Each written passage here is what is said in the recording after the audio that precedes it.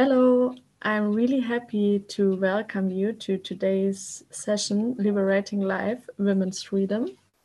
I'm Alina and I will do the moderation this evening. Um, it's another seminar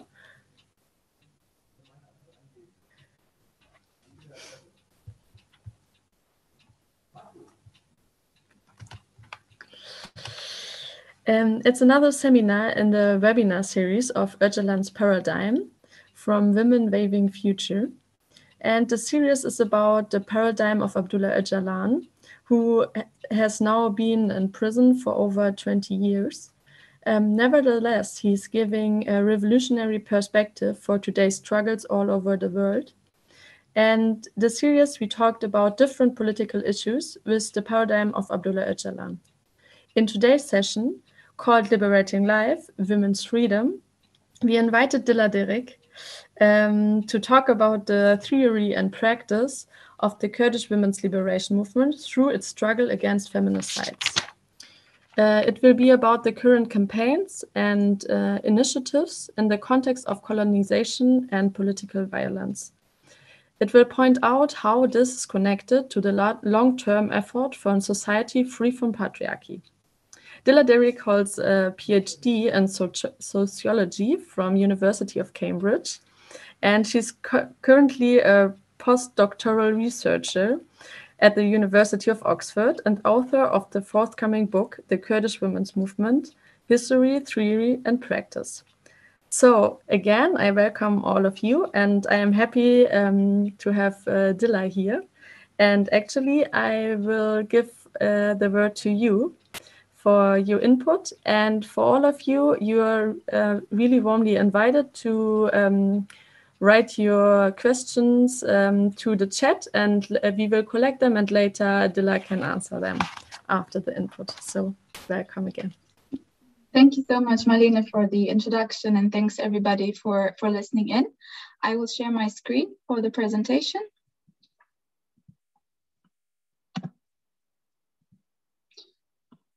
Yes, and um, so I will jump straight in. Uh, of course, many of you will know that there are several other uh, videos on the Women Weaving Future uh, YouTube channel about the, the history and politics of the Kurdish women's movement. And so I will try not to repeat anything that has already been said. Instead, I will speak about uh, ways of tackling feminicide, which of course many of you know is one of the uh, urgent global issues today. And I will try to give a sense of the ways in which um, the women's movement uh, connects different systems of violence from the household to world politics, uh, from intimate partner violence to um, global uh, militarism on a, on a global scale. So I will also uh, speak about the term uh, political feminicide uh, as a distinct form of targeting women who resist patriarchal systems and structures such as fascism, capitalism, ecocide, colonialism, racism, and so on, and the state as well. So let us first um, try to briefly understand uh, what is feminicide. Um, the word feminicide, or sorry, femicide was first uh, coined by feminist thinker and activist Diana Russell in the 1970s. And Russell was among the women who, among the people who organized the first uh, international tribunal on uh, crimes against women. And years later, she defined femicide as the killing of females by males because they are female with the aim of shedding also light on the specifically gendered nature of certain forms of homicide and how they are linked to wider systems of power and domination in society. And of course, much has been done since the 1970s, 1970s to, to tackle violence against women, including feminicide. And um, we will get into a bit more detail, but before that, I want to point out that um, feminist activists and scholars sometimes use these words femicide or feminicide uh, interchangeably. So both terms are valid and both are used, but the literature of the Kurdish women's movement tends to prefer uh, feminicide. And this is because it draws also on the legacy of Central American and um, Latin American feminists who coined the, coined the term feminicidio to discuss also the role of the state in the perpetuation of the phenomenon. But translations vary. And so please, when I show photos later on, don't be confused if you see one or the other.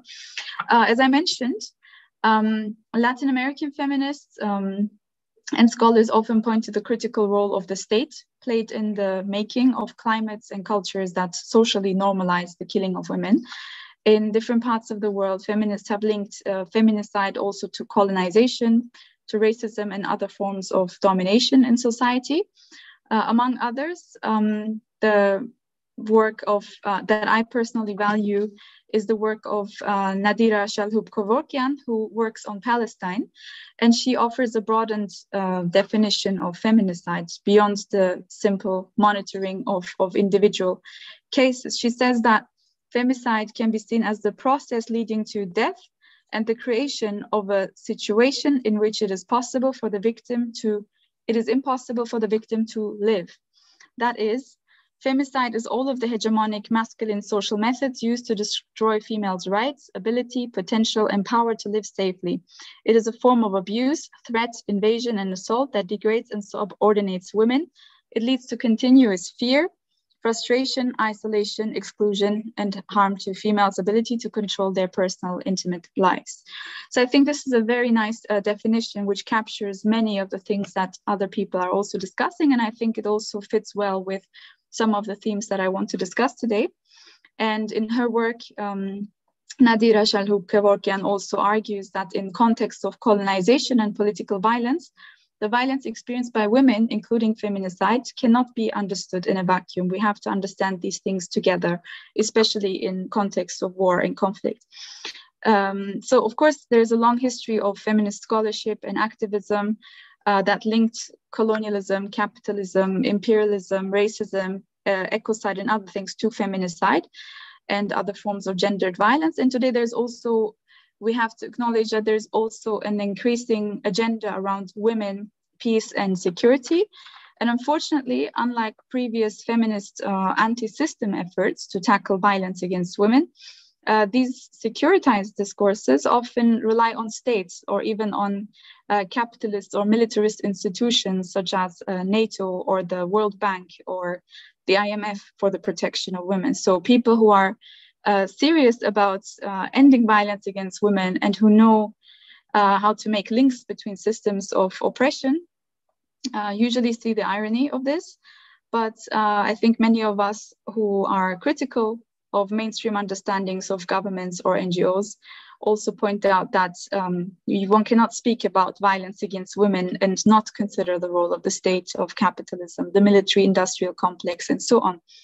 So let's now talk about um, the how the Kurdish women's liberation movement assesses the phenomenon of feminicide, uh, namely as a long-term, as a product of a long-term history of patriarchal power and one that is intimately tied to the state system. So before we get into that, I just want to have us take a look at what happened in the last uh, two to three years. And let's start with the most uh, recent developments. Um, so in June to 2021, so just less than two months ago, uh, two weeks before Turkey actually withdrew from the Council of Europe's Istanbul Convention, a young woman named Deniz Poyraz was murdered in the Izmir headquarters of the People's Democratic Party, the HDP. And very early on, reports suggested that uh, Deniz Poyraz, who is a politically active woman herself, uh, was not really the main target of this uh, far right Turkish nationalist attack. It was um, done by somebody who had planned a large scale massacre in this party building. And she was working there, uh, replacing her mother who was sick uh, for, from work. So she was not the main target. She just happened to be there because the person who committed the massacre assumed that the building would be uh, more full. Yet the HDP and women's rights activists and the wider Kurdish women's movement and the women's the, the Kurdish freedom movement in general immediately referred to this as feminicide. So in that moment, statements, articles, social media posts, um, protest speeches, and so on in the aftermath of the killing um, immediately framed this, this thing as a feminicide, including um, her family also pointed to the gendered nature of this killing. So this is very interesting, I think, and this is a very recent case. And um, it's important to ask, what is this uh, reaction? How come there's this kind of reaction to this massacre? Why did people frame this uh, essentially ultra-nationalist attack on a political party as feminicide? And I think to get this, we need to look at um, the wider political uh, context because uh, the murderer, who is here in this picture, Onur Gencer, had recently spent time in Turkish occupied parts of majority Kurdish regions in, in northern Syria. This is an Instagram post of his. And uh, he tagged uh, himself as being in Syria, in Manbij specifically. And he poses with an assault rifle here. And he has other photos where he poses with ultra nationalist symbols behind Turkish flags and so on. So, of course, many of you will know that Rojava uh, is a site in which the um, ideas of Abdullah Öcalan have been implemented since 2012. And I'm sure some of you are familiar with his ideas because they have been discussed as part of this seminar webinar series. And with its political, cultural, and um, social efforts towards women's liberation, Rojava also became a historical turning point in the women's struggle in the in the region, in the in Kurdistan as well as in the Middle East region more broadly.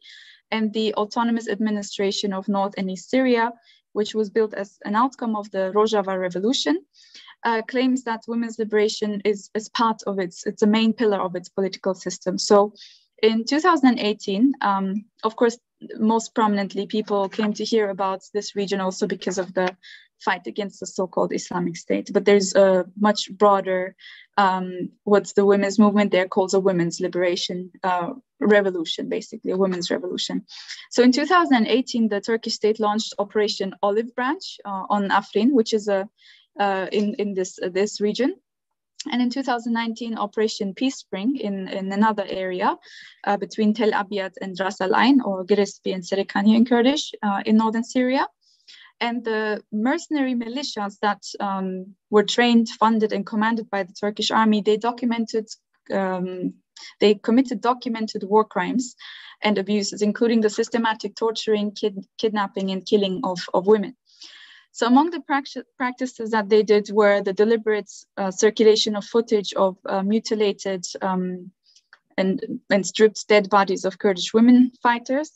So that was one very big episode. These two Turkish invasions on northern Syria uh, were very crucial in this regard. So this is where the person who committed Deniz Poyraz's murder, he is current. He he claims to have st- uh, spent some time in this Turkish occupied region. And um, another thing to mention is that prior to these military operations uh, in 2015, the peace process between the Turkish state and the PKK had collapsed. So thousands of women, including prominent uh, rights defenders, MPs, and mayors, were subsequently imprisoned by the state for terrorism. And on many occasions, because of all of these things combined, and also other things that I cannot get into in detail at the moment, uh, the Turkish state has repeatedly been accused of coordinating with the so called Islamic State against the Kurdish struggle for autonomy in northern Syria. So, in this context, the Kurdish women's liberation movement has increasingly uh, started to accuse the Turkish state also of leading a comprehensive, not just genocidal, but also feminicidal war. Um, so, in the 2010s, uh, to just go back a bit more for context, the so-called Islamic State or Daesh um, as a group that explicitly used sexual violence in, in war, in governance, in propaganda, uh, came really to represent the naked face of, of patriarchy. And of course, those years saw a general surge in uh, violence against women, gendered and sexualized violence in the context of regional wars and episodes of large scale displacement, um, especially in Syria and in Iraq. Um, and all kinds of crimes against women were committed by a variety of actors.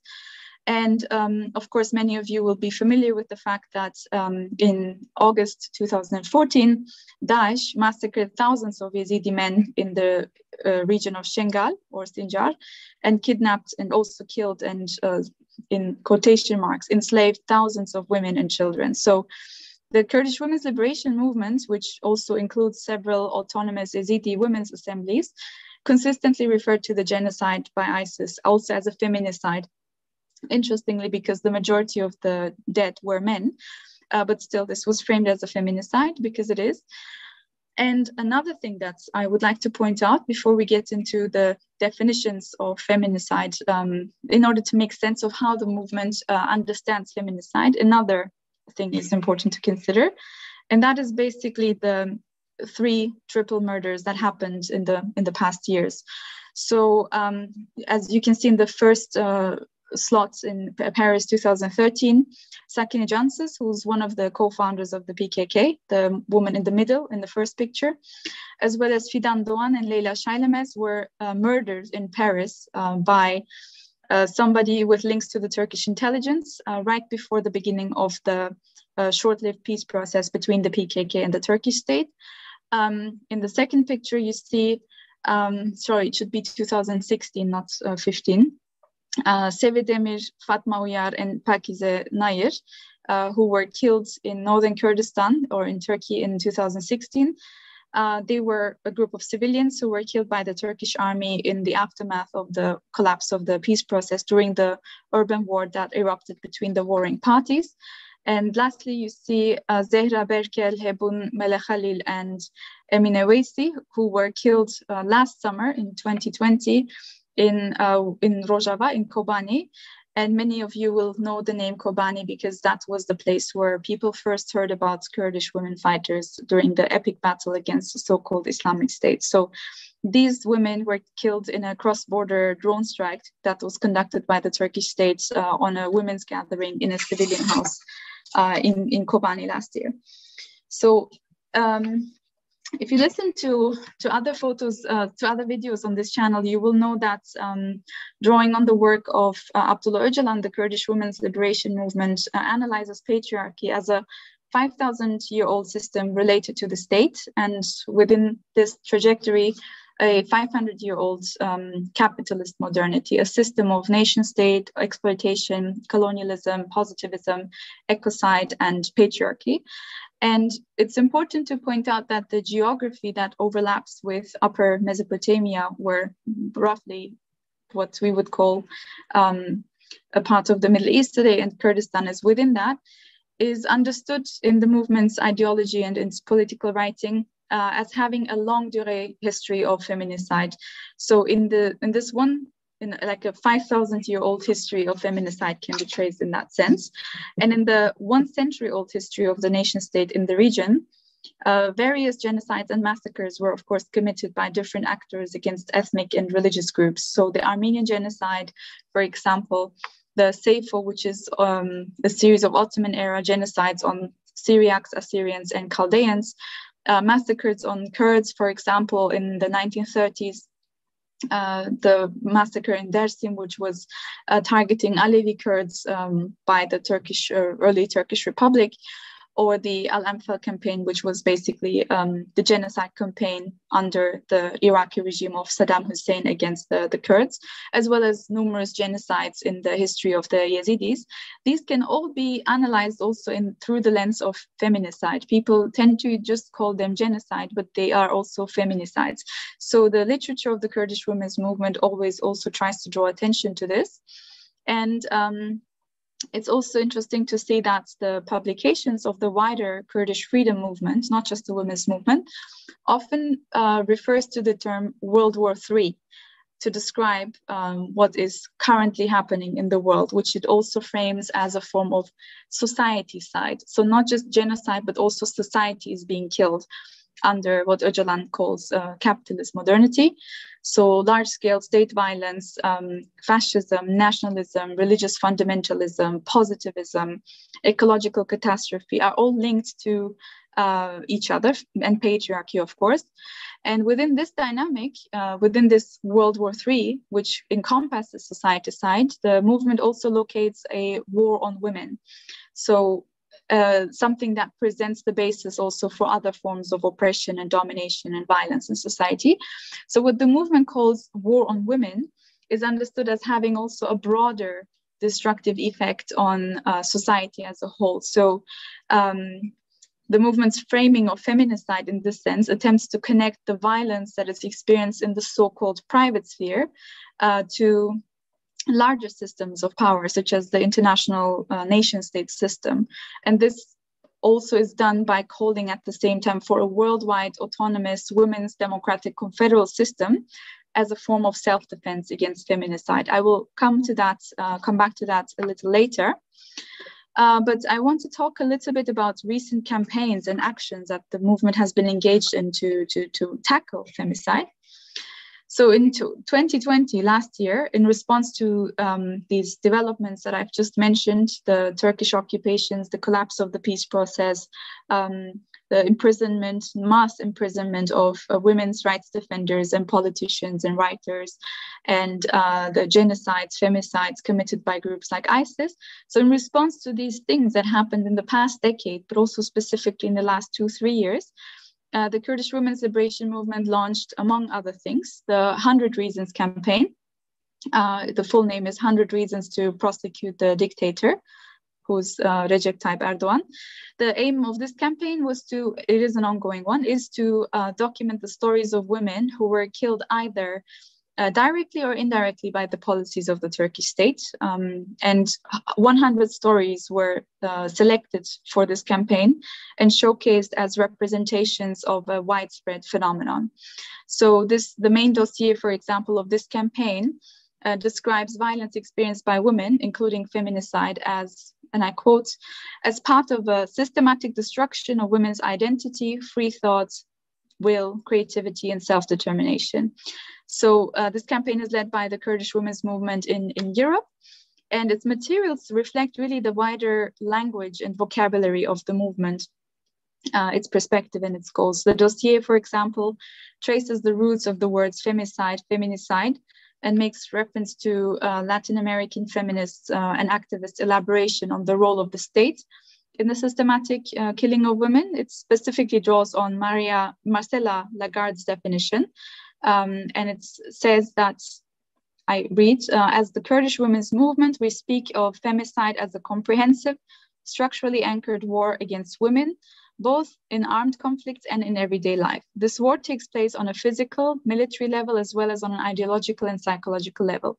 So, as you can see, uh, there's an explicit uh, refusal to kind of accept this private public dichotomy and to actually make the effort of linking these things together.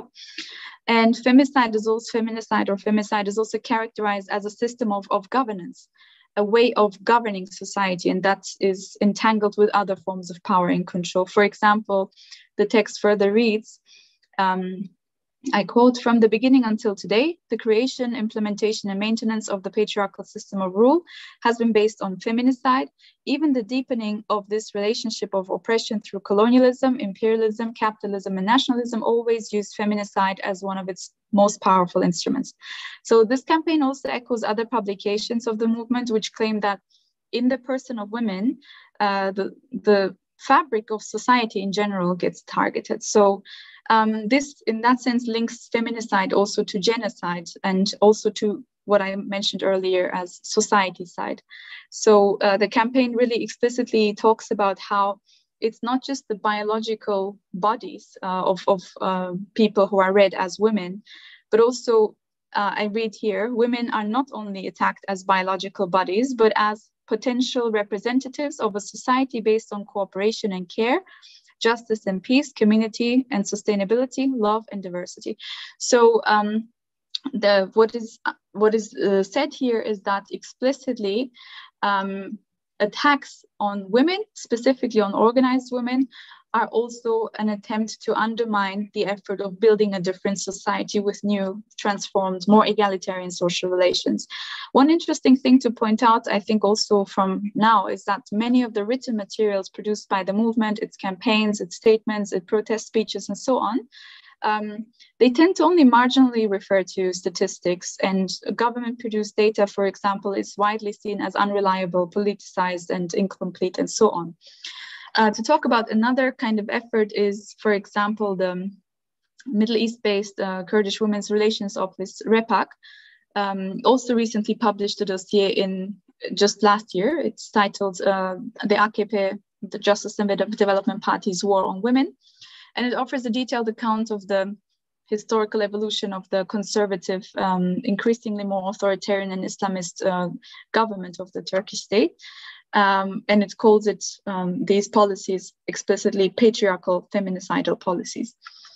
Uh, the report cites data to connect economic, social, and cultural discrimination and violence against women in the government's domestic policies to its uh, wider uh, militaristic and expansionist policies in the region. As we can see, the Turkish state has recently launched wars in several countries and has been sending mercenaries to different countries, such as Armenia or um, Libya.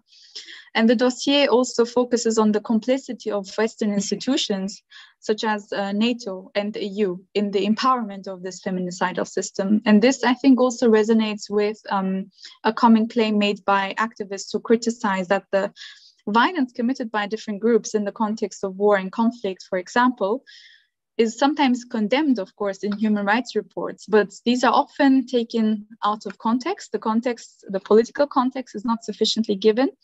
For example, the fact that many extremist groups in Syria were trained, uh, funded, and armed by countries like Turkey, Saudi Arabia, and Qatar with the support of the US and European governments, uh, that this is very rarely pronounced, but it's very important for us to understand the relationship between different forms of violence uh, in this context.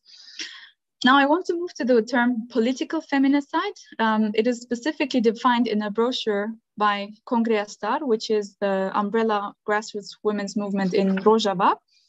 And uh, together with Women Defend Rojava, which is an international campaign, uh, the Kongre Star has been writing several brochures, and you can also check some of these uh, online if you go on the Women Defend Rojava website. Um, so in response, especially to the recent Turkish invasions, uh, the, the movement has come up with the term political feminicide to also uh, point out the specific nature of the targeting of politically active women um, by states and paramilitary forces and so on. So in this first brochure that you can see here, it defines political feminicide as follows. Um, the selective killing of women who organize and take an active role in the defending in defending freedom is a widespread and systematic practice throughout the world and throughout history. Hundreds of thousands of women have been murdered for their political thought and practice. And on many of these occasions, these crimes have been orchestrated by states and perpetrated by state military or police forces or by paramilitary groups, mercenaries, or hitmen. So this text is very interesting because it also refers, among others, to people like uh, Rosa Luxemburg, to Marielle Franco, a Brazilian activist, uh, Berta Cáceres, uh, who was murdered in Honduras, uh, the sisters Mirabal from the Dominican Republic or Meena Keshwar Kamal from Afghanistan, a leading member of or founding member of the Revolutionary Association of uh, Women of Afghanistan. Uh, all of these are mentioned as examples of resisting women who were deliberately targeted by states or paramilitary political agendas. Um, and of course, in light of the recent developments, this term political feminicide, and I will give a few more examples, and I have already given the triple murders at the beginning as an example. Uh, in light of what has happened in the region recently, this term has become used more commonly in the movement. Um, I want to mention also in January of this year, uh, Sada Al Harmas, the co chair of the Til El Shair Municipality Civil Council, and her deputy Hind al Khadr were abducted, tortured, and murdered in the majority Arab region of Shadadi, uh, which is part of the autonomous administration of North and East Syria. Um, and these assassinations were um, claimed by Daesh. So you can see the photo in the third picture here. This is a protest condemning their killing. And Kongre Star, uh, in several publications and in the protests and in TV programs and so on, characterize these murders also as an attack to undermine the civilian struggle of women and also women's solidarity, uh, because it was here also Arab women who were targeted. So Kongre Star and other organizations framed this as an attack to make sure that women together across communities um, are prevented from, from, from building a more free uh, society free from patriarchy. So, in several brochures and dossiers, also the Kurdish women's movement claims that the Turkish state commits feminicide, uh, either with its mercenaries or directly, against uh, organized women as part of its occupation uh, project. And in the middle, you see a brochure on the killing of the three women in, in Kobani. But also, um, for example, following Turkey's um, Operation Peace Spring in October 2019, women's organizations launched a campaign uh, with the name um, Occupation is Violence, as you can see here. Um, and the campaign connects also war and occupation to the rise of violence against women, including child marriage and uh, domestic abuse, feminicide, and so on. And in that year, in 2019, just a few a month or so later after the occupation started, uh, Kurdish, Arab, um, Assyrian, Syriac, Chechen, and Turkmen women organized mass demonstrations in various cities uh, on the occasion of 25th November International Day Against Violence Against Women with that slogan, women, uh, sorry, occupation is violence. You can see the logo here and it shows um, the sisters Mirabal, who were executed uh, during the Trujillo dictatorship in the Dominican Republic and the International Day Against Violence Against Women, 25th November is um, dedicated to their memory.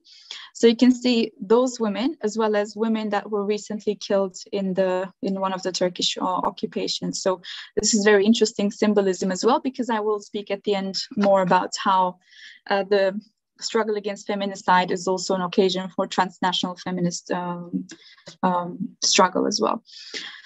Um, one thing that um, happened very early on in the so-called Peace Spring operation in 2019 was the killing of Hevrin Khalaf, um, who was a spokeswoman of the Syrian Future Party, and she was brutally executed by members of Ahrar al-Sharqiya, one of the Islamist proxy forces allied with the Turkish state. And in this other photo that you can see here, these people were circulating also images of, of themselves uh, mutilating the bodies of, of women fighters. And this is a continuation of something that had happened in 2018 in Afrin, which is still under occupation. So um, interestingly, um, the day after the killing of Deniz Poyraz, whom I mentioned at the beginning uh, in Turkey, Kongreya Star held protests across northern Syria, so just in the last couple of weeks. Um, and it explicitly likened the attack uh, to of Deniz Poyraz to the killing of Hevrin Khalaf. So both were framed as feminicide genocide committed by the Turkish state and its allies in the region. And among the people who launched protests for Deniz Poyraz were also women in Shahba, which is a region where the residents of Afrin had to flee to after their homes were occupied. So they also linked their occupied situation to the killing of Deniz Poyraz and um, and other policies of the Turkish state in the region. So it's really interesting to see this transnational character through which, in which the movement understands this feminicide genocide of the Turkish state. Um, so when um, reading the movement's work on feminicide, uh, it's also interesting to see that um, often, just to get rid of this photo, for a bit, um, that often words like uh, prevention or protection are actually missing, especially uh, calls for protection or prevention from state bodies or formal institutions. Instead, the vocabulary that the movement uses invokes ideas around um, self-determined autonomous forms of organized struggle to, to abolish patriarchy. And this is reflected in many of the brochures and works of the movement in, in recent years. For example, Kongreya Star and Women Defend Rojava also have a a brochure called um, Self Defense The Answer to Gender Based Violence, which you can also download on their website. And it references also um, things that happened in Nazi Germany, in Afghanistan, Iraq, uh, Armenia, Rwanda, Bosnia, and so on, and also in the context of indigenous communities and colonization of different parts of the world. So um, I think this is also very interesting to see these international connections that the movement makes. Um, also, I want to mention that in 2019, on the fifth anniversary of the Daesh massacre on the Yazidis, the Kurdish women's movement, and this was especially an effort led by Yazidi autonomous assemblies, uh, declared that the 3rd of August, which is the day Daesh committed the genocide, feminicide, should be International Day Against Feminicide. And in many protests and assembly meetings, statements, uh, Yazidi women constantly emphasized the need for autonomous women's self-organization to end further episodes of violence. So, of course, on one hand, many NGOs and governments have been doing work on behalf of the Yazidis after the genocide, but it's also important to remember um, that it was the guerrillas of the Kurdistan Workers' Party and fighters from Rojava who were the first ones to basically take care of the survivors and prevent the further unfolding of the genocide and several women's autonomous assemblies have been formed ever since. And these have been making such calls to basically uh, establish a, a more autonomous system, a self-determined democracy for this community as a way of preventing further femicide. And this is really interesting, I think. Um, the campaigns and protests of the Kurdish Women's Liberation Movement, I should also say that, um, are very widely shown in news agencies, in TV programs, in newspapers of the Kurdish freedom movement. And I think this is very important because it's uh, related to raising awareness, of course. Um, videos of protests are usually broadcasted uh, through affiliated TV channels and social media accounts in um, several languages. And some of you might be familiar with uh, the All Women's Jin TV, which you can also find on YouTube. Um, but there are also other channels and newspapers that speak about feminicide and how it's linked to these other forms of um, violence.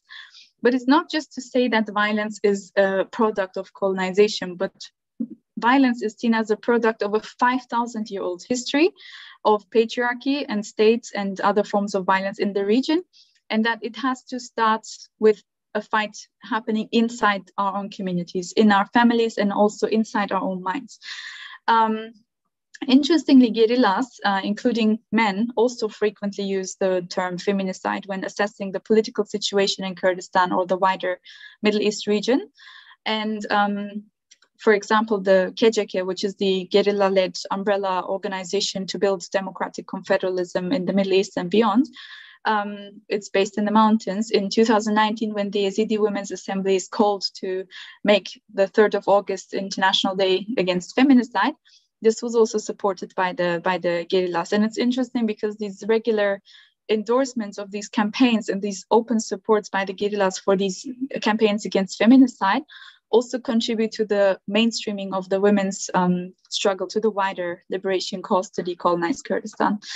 Um, anyone who has attended a protest organized with the Kurdish movement will know that uh, speakers from the women's movement are often given prioritized uh, speaking slots.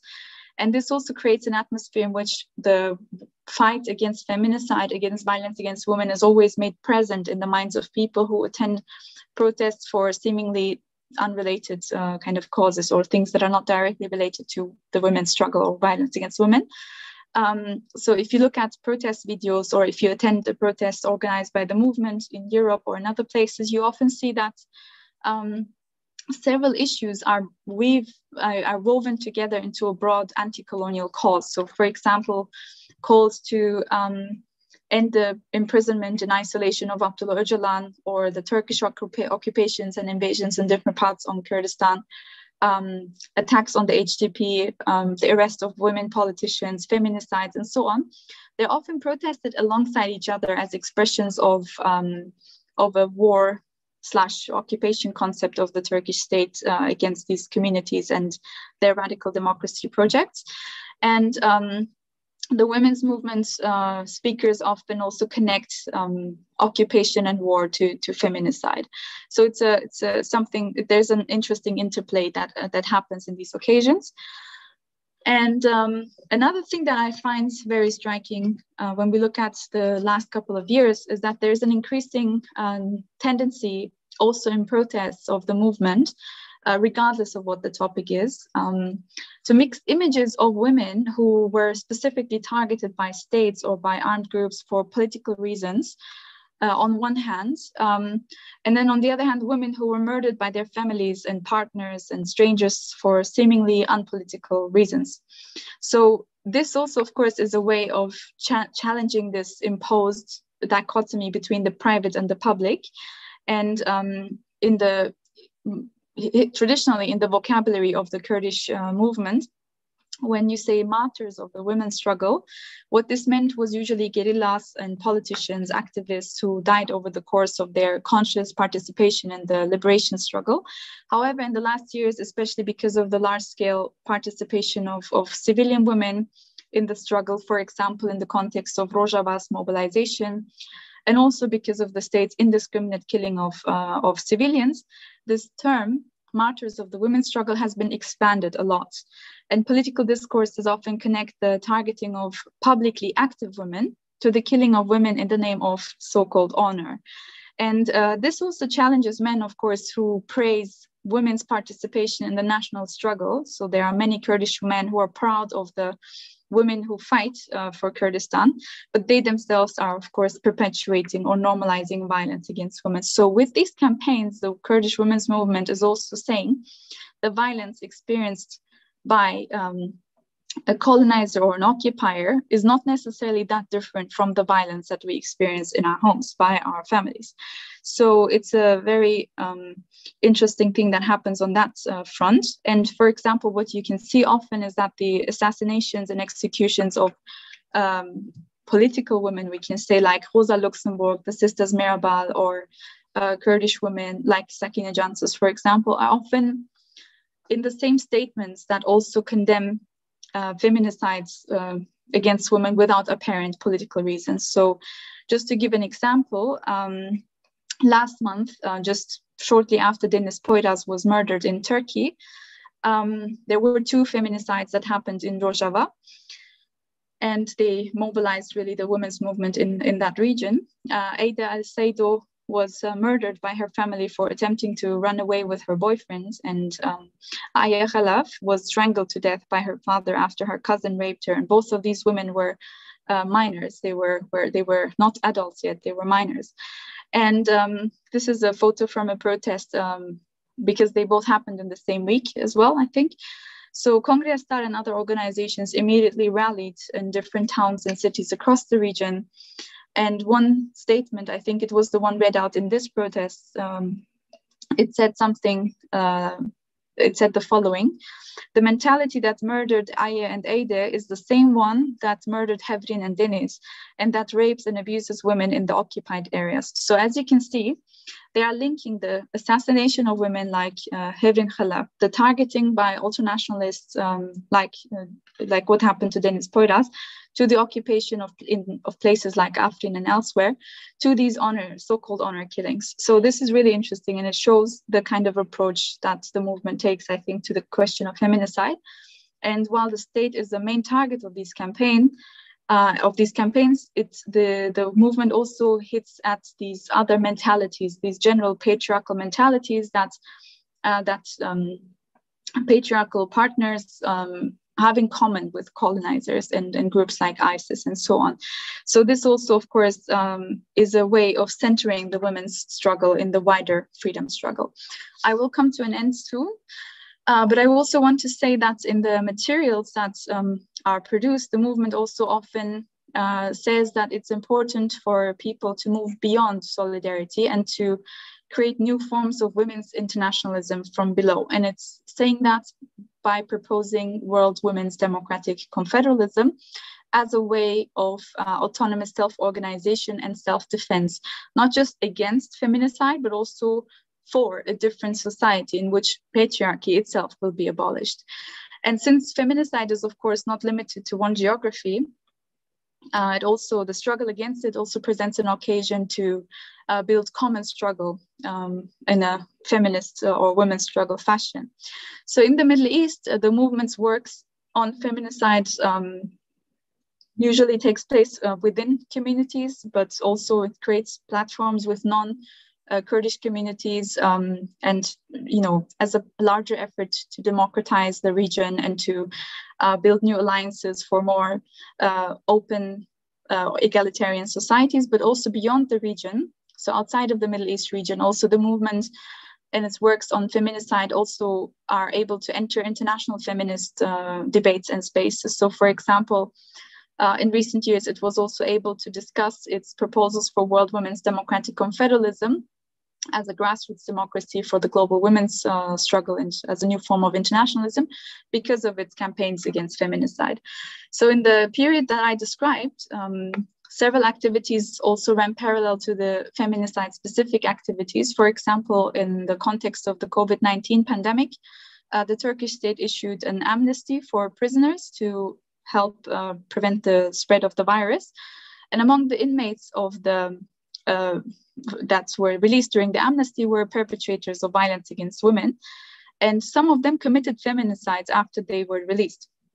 And political prisoners, however, including many women uh, prisoners, including women's rights defenders and so on, they were excluded from the amnesty. Uh, there's some other talks on this channel if you want to check them out. So in this context, the women's movement launched the Solidarity Keeps Us Alive campaign for women political prisoners. And this was a campaign that was launched with activists and groups in places like Tunisia, Philippines, uh, Afghanistan, Pakistan, Palestine, Egypt, Morocco, Colombia, and so on. And this campaign, why I'm mentioning it, it's because it's it was focusing on prisons, but it also connected the imprisonment of women's activists to the issue of feminicide, which, of course, as we know, aggravated during the pandemic. So uh, many other issues that the movement is working on is connected to other issues like feminicide. And um, lastly, also to mark the, so here are just some examples of, of what I described. The top right is, for example, I think it happened only last week in response to these two feminicides that I mentioned on Aide and Eye. Uh, this was a workshop that was held with members of, of, the, of the political community in the region on feminicide. And as you can see, there's also a lot of engagement for, for men. Uh, but the, the bottom picture here also just was it was an event. I'm just giving it as an example of many other events that have been happening. It was uh, to mark the first anniversary of the triple feminicide in kobani. Uh, it's the weaving for life platform stop feminicide campaign. And it was launched in june 2021 in an uh, in an online conference. And it was signed by nearly this campaign was signed by nearly 300 individuals and organizations most of them in latin america and also the previously mentioned 100 Reasons campaign um, collected within a few months between International Day Against Violence Against Women and 8th March, so between November and March of this year, it collected 20, sorry, 200,000 signatures to prosecute Erdogan for feminicide. And this exceeded the aim of 100,000. So the first stages of that campaign, of the 100 Reasons campaign, consisted of circulating information and gathering signatures, but the next phases will be to prepare the ground for international um, justice initiatives, feminist justice initiatives to demand accountability for feminicides and to uh, basically get feminicide also recognized as a war crime in international law. So these are just some of the ways in which the movement has been able to um, take the occasion of the struggle against feminicide as a way of making alliances and to go beyond solidarity by building forms of struggling together against feminicide. And just to conclude, um, the movement, um, as you can see in this picture as well, is leading basically a multi-front struggle against feminicide. It's on one hand it's consciousness raising and organization inside one's own community through autonomous women's self-organization. Then there's knowledge production, there's the creation of new theories on feminicide, but also transnational action. So it also recognizes that um, one cannot stop these feminicidal attacks by states or other actors in Kurdistan without the help of international um, women's uh, struggles and activists and organizations. So by weaving these different systems of power and structures into one patriarchal status capitalist uh, violence nexus, the movement advocates also women's autonomous self-organization as a form of self-defense against the killing of life itself. It's also often framed as the killing of life and the protection of life from, from, from male violence and state violence. So slogans like um, there is no free society without the liberation of women, which is a quote by Abdullah Öcalan, are used often across components of the movement, and they connect the fight against feminicide to the wider efforts to decolonize Kurdistan and the Middle East, and in theory, without subjugating the women's struggle to national liberation. So the movement's language and framing uh, refuses these very securitized ways of thinking about uh, protecting women and ending violence against women, which we see becoming more and more common in the world of NGOs. Uh, but also it refuses to compartmentalize um, violence against women in the workplace, at home, in war, conflict, family, and so on. Uh, and it also treats the specific targeting of politically engaged women as a distinct phenomenon that requires understanding and particular uh, attention because there is feminicide that is normalized inside society, but there's also the specific targeting of women who resist patriarchy and the state and so on. So this is a concept that the movement offers to, to others also up for discussion. So um, in some, the struggle against feminicide cannot be surrendered to the state according to the movement, but must be conceived of as a long-term struggle to dismantle patriarchal mentality and domination and to create a different society, to build a different life based on the movement's uh, ecological women's liberationist and democratic uh, paradigm.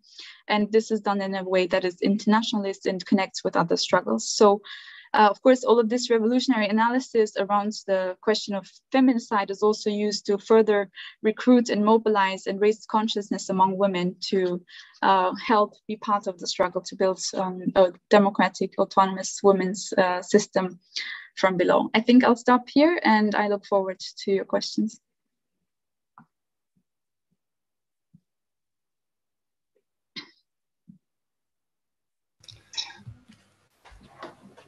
Thanks, Dilar, for your lecture.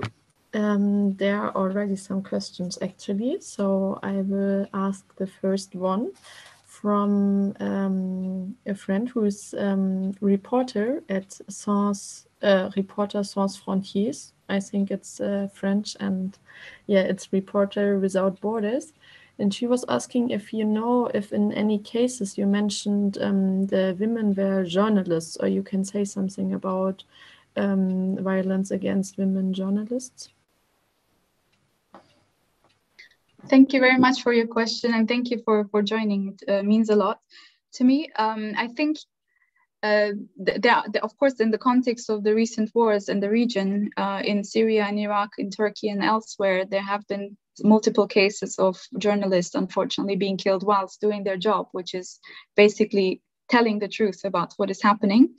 Um, I can think of a couple of examples also in this context. For example, Nujiyan Erhan or Tuba Akyılmaz. She was killed in 2017 uh, by the forces of the Kurdistan Democratic Party in Shengal, in Sinjar. Uh, and she had been based in Sinjar for several years, and she was basically witnessing the creation of autonomous um, uh, structures by Yazidi women, and unfortunately, she was killed by the fire of these uh, of the of the fighters of the security forces of that party uh, because of political tensions. Uh, then I, actually today I think is the anniversary of the death of Deniz Fırat. Uh, she was a journalist and she was a she was also a political activist. She was not just a journalist. She was um, she was similar to Nujiyan Erhan, a member of the of the Kurdish freedom movement uh, she was killed in Mahmur, which is a region where there is a, autonomously organized refugee camp in Iraqi Kurdistan or southern Kurdistan. And um, that place has also been under embargo and heavy fire. And also, it was attacked by ISIS in 2014 when ISIS was taking over different parts of Iraq. Uh, she was documenting the fight against uh, ISIS in that region, and she was also uh, killed by ISIS whilst doing her job. So uh, there are plenty of other examples, and I think in the context of Turkey, for example, there are many women journalists who are in prison. So, um, unfortunately, uh, well, one one very amazing thing that I think uh, we can see in the context of the Kurdish movement is that many of the um, news agencies and magazines and stuff of the movement have an autonomous section on women and also documents violence against women and the struggle of women. So I think this is really important for like uh, what, what journalism and media work and documentation means for the women's struggle is also to follow up on cases of violence. And i think the work of um, Jin TV, for example, or or uh, some of the autonomous women's um, uh, reporters and, and agencies that exist and that have been flourishing also in the context of Rojava are very interesting in that they are not just documenting cases of violence against women, but they also follow up and see whether justice um, is, is happening. And they also try to do this with a, with a very feminist lens as well. So I think for people who are interested in, in women's journalism in Kurdistan, uh, it, it has a very women's color. It's really a purple color of journalism, I think I would say. And unfortunately, yes, uh, women have also been targeted. And I just gave a few examples, but there are plenty, there are many more that could be talked about. Thank you for your question.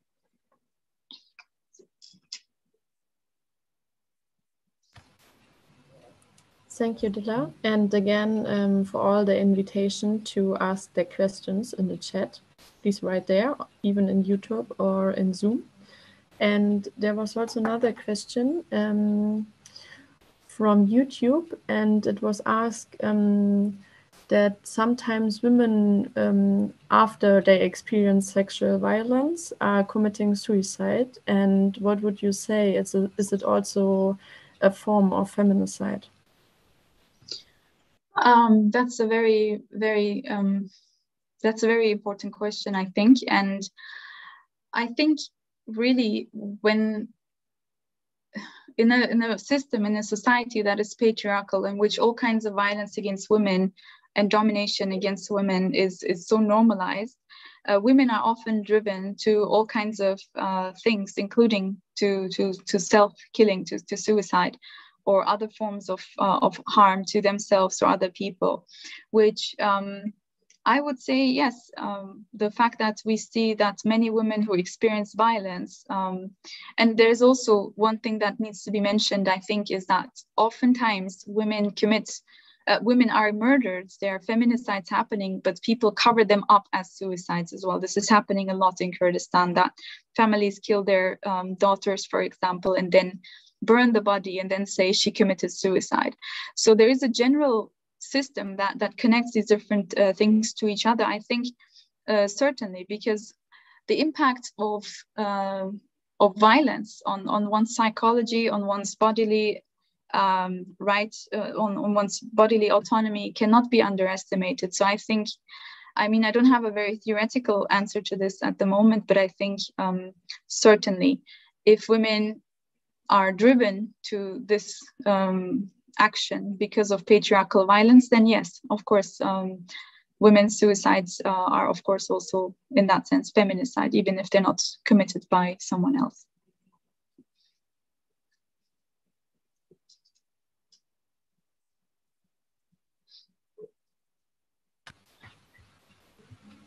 Thank you. Um, in the moment, there are not any more questions, but maybe we will wait one or two minutes more just if someone is uh, thinking about it.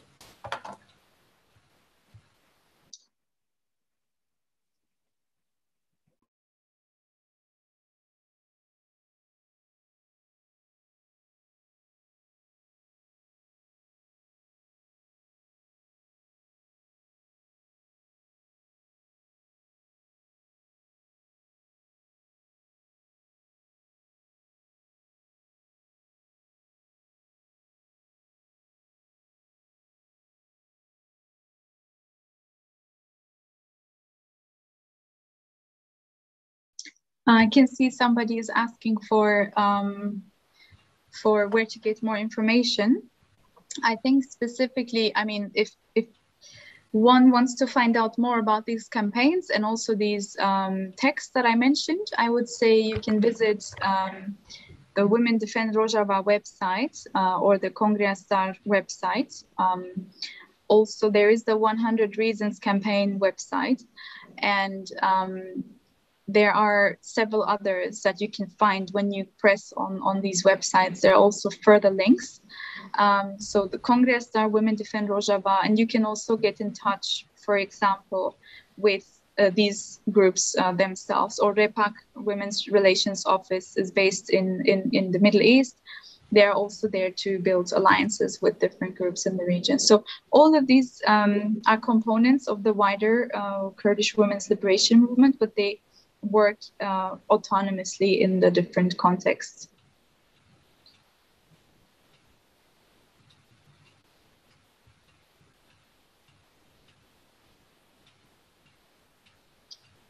Are there more questions?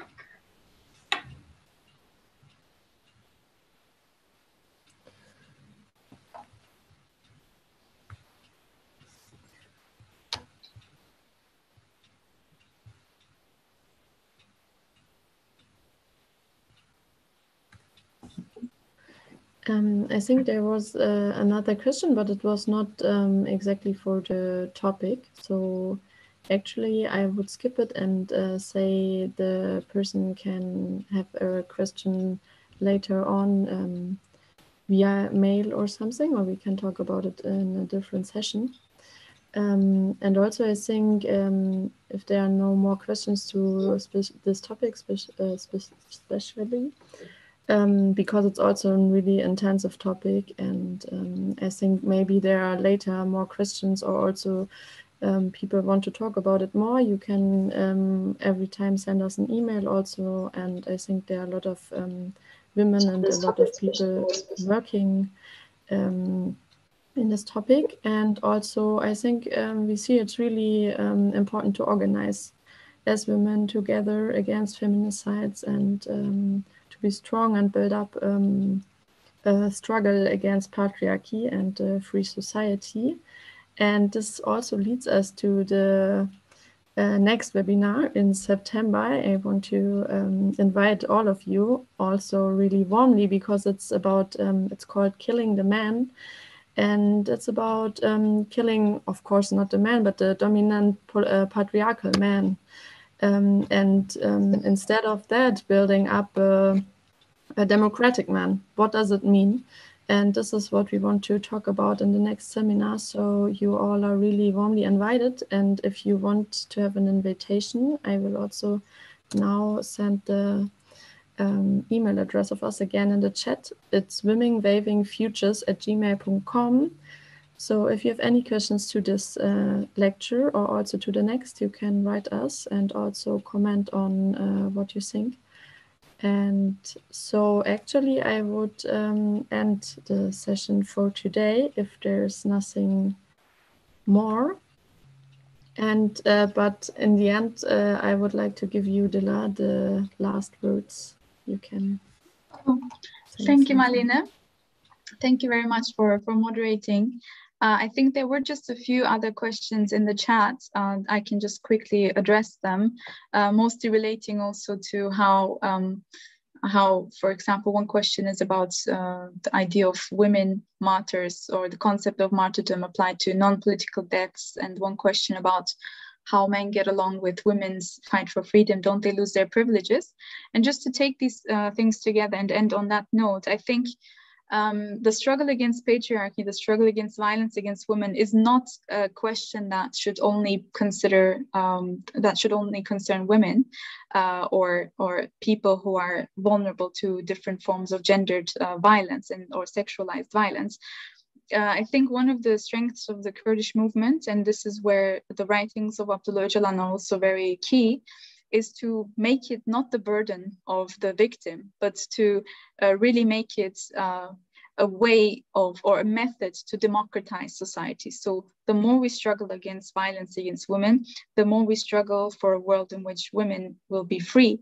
And not just women, but where there's solidarity between different communities, where there are different, more direct democratic ways of, of living, uh, and where our relationships to each other and to different forms of life are based on an ecological mentality. I think the more we struggle towards that, we will also approach new questions for, for freedom as well. So I think, um, yes, of course, uh, there's a lot of problems. There are so many um, different situations in which organized women encounter resistance from, from men inside their communities or where they themselves have to uh, overcome internalized sexism and misogyny and all kinds of other um, forms of violence and exclusion happening against uh, against people because of these patriarchal uh, ideologies and mentalities.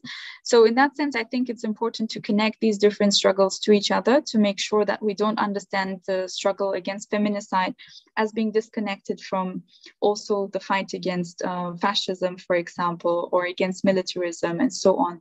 So of course, this will also mean having difficult conversations with people, for example, um, men in our families or in our communities and so on. But the most important thing is to trust one's own autonomy and to build new concepts for, for self uh, defense and to not surrender this struggle uh, for freedom to states and other systems of, of power. I think this is one of the most important things uh, to take away from this. And this also means to come to the question of um, civilian uh, women versus political women who are targeted. I think um, connecting the fight against uh, for the so-called honor killings to uh, the struggle against fascism on a global scale. I think this is a very profound uh, revolutionary thing to do. And I think this is one of the things that other struggles also can learn from each other, how to make sure we do not um, pretend that violence against women in our communities is uh, not happening, for example, or uh, to divorce these different things from each other. So sorry, this was a bit more rambly than I was hoping, but I think um, hopefully people who have participated uh, will be able to engage with these concepts of the movement and also uh, of course that the kurdish women's liberation movement can also as it has in the past and is continuing to do so learn from other struggles as well and towards building common shared platforms for common struggle so thank you very much all for coming and for listening